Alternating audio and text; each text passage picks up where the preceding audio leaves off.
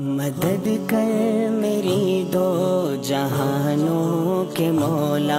मुसीबत में मैंने पुकारा है तुझको। मैं मायूस हूँ।